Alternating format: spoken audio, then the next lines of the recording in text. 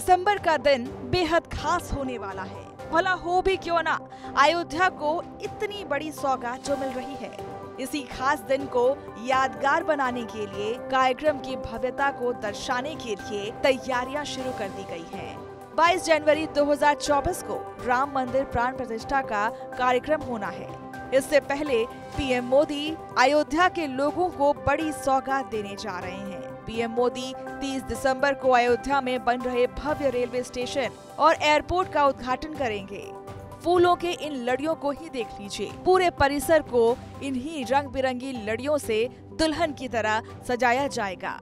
तैयारियों और सौंदर्यकरण करने के लिए कई कारीगरों को बुलवाया गया है। साथ ही साथ ताजे फूलों का प्रयोग भी किया जा रहा है। यहाँ आप जिधर भी नज़र दौड़ाएँगे, आपको रंग बिरंगे फूल ही दिखेंगे। इससे आपको अंदाज़ा तो हो ही जाएगा कि कार्यक्रम की भव्यता कितनी होगी। माननीय नरेंद्र मोदी जी तीस तारीख को यहाँ एयरपोर्ट का उद्घाटन के लिए आ रहे हैं। उसकी तैयारी में सारे कारीगर लोग फूल का काम कर रहे हैं। लड़ी तोरण इंग्लिश फूल का ये काम हो रहा है। तैयार चल रही है। ये उनतीस की रात को कंप्लीट होगा। तीस में उद्घाटन है। उनतीस की रात को कंप्लीट करके देना एयरपोर्ट का उद्घाटन हम मोदी जी करेंगे तीस तारीख को। उसके लिए हमने कई तरह के फूल वगैरह डिजाइनों में सजावट करेंगे हम। हमारे को जो डिज़ाइन में आज, जो डिज़ाइन देते हैं, सारा बनाने को मिला है। इसमें नाम भी लिखा जाएगा, योगी जी का। ऐसे जय श्री राम भी लिखा जाएगा इसके अंदर। स्वागत भी लिखा जाएगा, सबका स्वागत करेगा। सब, जो भी होगा, सब लिखा जाएगा इसके अंदर। आपको बता दें कि अयोध्या में राम मंदिर के उद्घाटन से पहले रेलवे स्टेशन को भी नए सिरे से बनाया जा रहा है।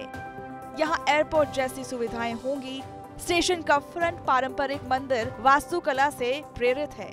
इसके साथ ही पीएम मोदी 22 जनवरी 2024 को होने वाले राम मंदिर के भव्य उद्घाटन के लिए अयोध्या में की गई तैयारियों का भी निरीक्षण करेंगे। 30 तारीख को भी अयोध्या में भव्य आयोजन किया जाएगा। इस दिन पीएम का रोड शो भी होगा। पीएम मोदी ट्रेन को यहाँ पर हरी झंडी दिखाएँगे। इसके बाद पीएम मोदी एयरपोर्ट के पड़ोस वाले ग्राउंड में जनसभा को संबोधित करेंगे। वो एयरपोर्ट से रेलवे स्टेशन तक का सफ़र तय करेंगे तो ये रोड शो के रूप में होगा।